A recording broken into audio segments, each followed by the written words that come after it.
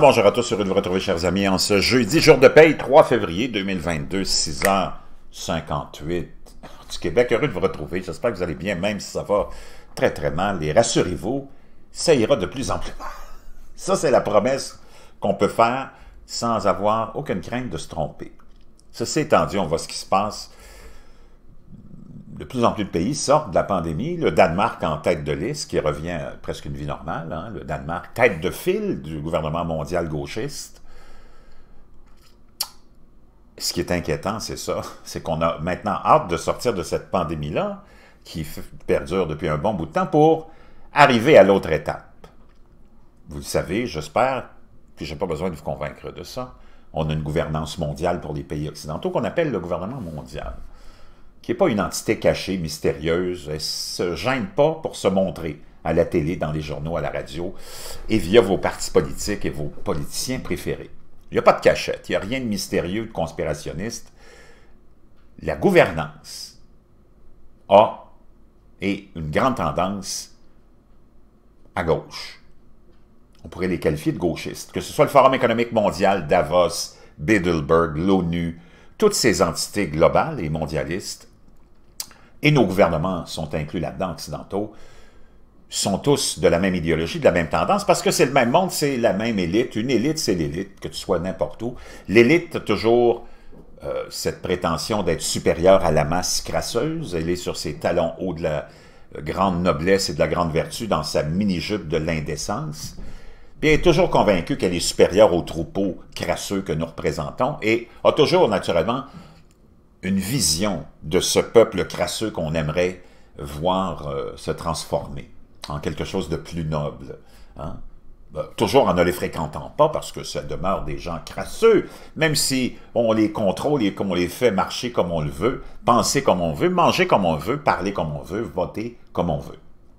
Et on le voit naturellement avec le Danemark en tête qui a presque la totalité de ses citoyens avec une Tesla, parce que c'est la, c'est le grand rêve de notre gouvernement mondial gauchiste, que tous les citoyens aient une Tesla hein, et changent ses fenêtres pour des fenêtres éco-énergétiques, mangent des pois chiches plutôt que du bœuf, et euh, ainsi de suite.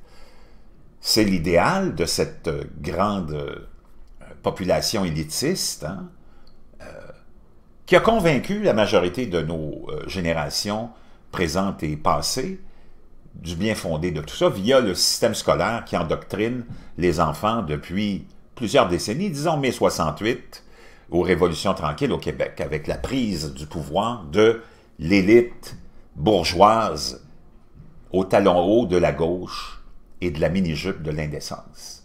Et c'est comme ça qu'est parti et avancé ce train du gouvernement mondial, avec son plan, naturellement, euh, de la transformation du citoyen crasseux, de ce troupeau de crasseux, en quelque chose de plus noble aux yeux de ses idéologues. Et là, on est en train d'assister à ça. La pandémie se termine parce qu'on a hâte de sauter dans l'autre train. Le train des confinements pour quelque chose de beaucoup plus dangereux, beaucoup plus menaçant et beaucoup plus noble, sauver la planète dans cette urgence climatique. Ça, c'était le premier pas. Et on l'a franchi au niveau de notre gouvernance mondiale, gauchiste de nos pays occidentaux, parce que le reste du monde ne s'est pas préoccupé vraiment de ce qui se passait au niveau des deux dernières années. On a essayé de vivre normalement parce qu'on a d'autres priorités dans la vie que de se promener en Tesla, d'avoir des fenêtres éco-énergétiques et de manger des pois chiches et de transformer nos villes en pistes cyclables. Ces gens-là sont confrontés à juste la quête de trouver peut-être une, demi-tasse d'eau et quelques sauterelles à manger, et d'essayer de fuir des guérillas et des fous furieux qui veulent les décapiter, on se retrouve, nous, dans des, naturellement, des problèmes beaucoup plus vastes et des causes beaucoup plus nobles. Sauver la planète d'une possible augmentation de température d'ici 200 ans de 1 demi-degré à 1 degré on a parlé de la disparition de la neige depuis des décennies, disparition de la glace dans l'Antarctique. Moi, je ne suis pas un scientifique, je prétends même pas être quoi que ce soit d'autre que quelqu'un de bien ordinaire comme vous, mais je vois qu'il y a beaucoup d'hystérie et que tout est basé vraiment sur la science vaudou. Que ce soit de la médecine, de l'épidémiologie ou du climat, on a beaucoup d'incertitudes Et on a affaire, vraiment, on n'est pas sorti de l'ère du Moyen Âge où tous euh, ces gens-là ressemblent plus à des prêtres vaudous, à des chamans, qu'il faudrait peut-être mettre de côté, mais on ne peut pas parce qu'on est dans ce cycle-là. Nous, on est avancé, on a le confort, on a tout. Donc, on a besoin de préoccupations beaucoup plus nobles. Sauver la planète, par exemple. Et on voudrait aller convaincre probablement quelqu'un à Dubaï, hein, qui vit sous le soleil éclatant 365 jours par année, il n'y a jamais de nuages, dans une température moyenne annuelle depuis des milliers d'années de 50 degrés, aller les convaincre peut-être que c'est très important de se soumettre à tout le plan de l'idéologie globaliste, mondialiste, gauchiste, et de se convertir. Parce que la température pourrait augmenter d'ici 200 ans d'un degré, alors que tu vis depuis des milliers d'années sous 50 degrés, sous un soleil de plomb. Ça va être assez difficile d'aller convaincre des tribus euh, de nobles euh, bédouins qui vivent depuis des milliers d'années avec leurs chameaux et qui se promènent de façon euh, nomade dans le désert du Sahara sous des températures accablantes. D'ailleurs, j'aimerais rappeler au monde, sans euh, faire quoi que ce soit d'autre que juste rappeler cet événement-là et ce fait-là, s'il y a des déserts, c'est qu'il fait longtemps qu'il fait très très chaud, puis ça fait longtemps qu'il n'y a pas eu beaucoup de pluie. pas récent. Tu essaieras d'aller convaincre les Bédouins qu'on doit euh, troquer notre chameau pour une Tesla, alors que ces gens-là sont nomades, sont dans le désert, il n'y a rien d'autre que le sable, il n'y a pas de, de petites branches et de stations de recharge, qu'on doit troquer notre chameau pour une Tesla. Donc, c'est à peu près ça, l'idée globale de cette belle euh, petite clique noble de nos gouvernements et de ce gouvernement mondialiste. D'ailleurs, beaucoup trop de conspirationnistes ont essayer de démystifier ce mystérieux gouvernement mondial. Il ne se cache pas. Il est là devant toi, jour après jour. Tes politiciens, tes partis politiques, tes élus, tes artistes te le rappellent, leur agenda. Et la liste est longue, je pourrais l'énumérer, mais je pense que tu la connais. Hein? On veut transformer ta pensée, on veut transformer ton mode de vie, on veut transformer tes traditions qu'on considère vraiment tellement primitives. Hein, la famille, c'est tellement primitif. Avoir des enfants, mais c'est vraiment primitif. Être en couple de différents sexes, c'est vraiment primitif. Toute cette idéologie-là est répandue dans euh, nos écoles depuis des décennies.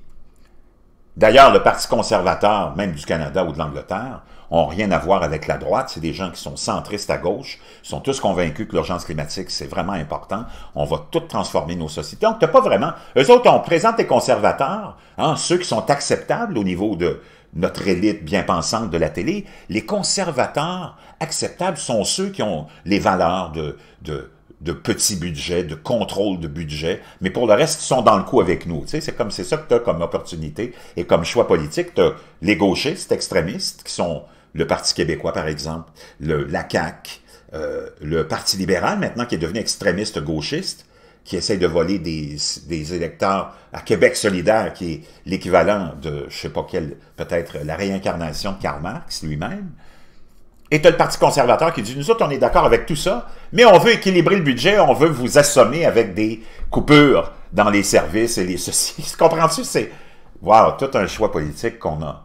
Et tout le reste, c'est à la frange d'extrême droite, les méchants extrémistes de la droite, ceux qui voudraient qu'on se questionne et qu'on questionne notre idéologie, parce que c'est tous des idéologues. Donc, si je fais une histoire courte, wow, je peux te promettre que demain, ça va être vraiment pire et que la pandémie que tu as vécue des deux dernières années avec toutes les contraintes, c'est juste le début parce que les contraintes qu'on va t'imposer pour sauver la planète, peux-tu imaginer de quoi elles vont avoir l'air? Si on t'a fait subir tout ce qu'on t'a fait subir depuis deux ans au nom d'une pandémie virale? Peux-tu imaginer ce qu'on va faire pour sauver la planète? Wow! Pendant ce temps-là, on va vivre la plus grande dépression probablement les gens sont en train de s'appauvrir. Et on voit un taux d'inflation galopant. D'ailleurs, nos gouvernements, je ne sais pas si vous avez confiance en l'appareil gouvernemental, les statistiques qu'on vous donne, mais c'est certain qu'on camoufle toujours la réalité. C'est comme pour le chômage. On a des formules pour calculer le chômage, pour vous faire prétendre qu'on est des bons administrateurs, que tout va bien. Le chômage est à 5, 6, 7% alors qu'on calcule le chômage d'une façon complètement tordue, vous le savez. Ceux qui sont pas en train de se chercher un emploi, qui ont décroché, on les calcule pas. Ceux qui sont naturellement euh, hors de la force de travail, on les calcule pas. Euh, c'est vraiment euh, pernicieux toujours. Même chose pour l'inflation. On vous dit, oh, il y a une inflation de 5-6% alors que l'inflation réelle est probablement de 15, 20, 30% Et ça, c'est tout le monde qui est dans le coup parce que l'élite ne veut pas vous dévoiler qu'elle est complètement hors contrôle puis qu'elle est en train de vous appauvrir. Mais quand on calcule l'inflation, il y a toujours encore là, on fait ce qu'on veut avec les chiffres et on met dans, le calcul de l'inflation des gros items qui valent cher, qui ne changent pas de prix vraiment de façon draconienne et rapide pour garder l'inflation à un taux acceptable. Mais si tu dis, euh, prends d'une autre façon et que tu calcules vraiment juste l'inflation avec ce que tu achètes toi en tant que citoyen ordinaire, hein, la nourriture, des vêtements, des chaussures et euh, quelques autres items, tu vas te rendre compte que l'inflation est probablement autour de 30-35% D'ailleurs, tu le vois quand tu vas magasiner à tous les jours. Mais on rentre dans le calcul de taux d'inflation des services que tu utiliseras probablement jamais, qui ne changent pas vraiment de tarif, mais qui ont une importance. Une télévision, par exemple, tu n'achètes pas ça tous les jours. Puis la télévision, de nos jours, est toujours en baisse de prix parce qu'on en produit de plus en plus. Mais ça vient euh, biaiser le, taux de l'inflation, tu comprends? Et si avant t'achetais un rôti de, de bœuf, parce que là, il est trop cher, tu ne l'achètes plus, là, tu vas aller acheter une viande moins chère, le poulet, on va ajuster aussi en disant, bah, c'est pas si pire, l'inflation est pas si grande. On va tricher, tricher aussi en diminuant les portions. Hein, on, le voit, la shrinkflation, j'en avais déjà parlé. Donc, tout est biaisé. Mais la réalité est que le prix de l'essence va être à 1,80 probablement d'ici le mois de juin, nous dit même euh, le journal de Montréal. Et en France, vous le voyez en Europe, le prix de l'énergie. D'ailleurs, dans la crise climatique qui nous euh, tombe dessus, euh, la plus grande crainte maintenant de la population, c'est est-ce qu'on sera capable de chauffer pendant les grands froids? Et d'ailleurs, c'est ce qui est en train de se produire encore au Texas. vous le savez, il y a eu l'an dernier une catastrophe pardon, euh, climatique. Hein, au Texas, on a eu une tempête incroyable pendant des jours et des jours. Vous avez vu ce qui s'était passé. Puis on n'a pas été capable de fournir l'électricité nécessaire. Et là, c'est ce qui se passe en ce moment. Encore une grosse tempête, une autre. On le voit qu'on est dans un modèle changeant climatique qui s'en va dans quelle direction, on ne sait pas.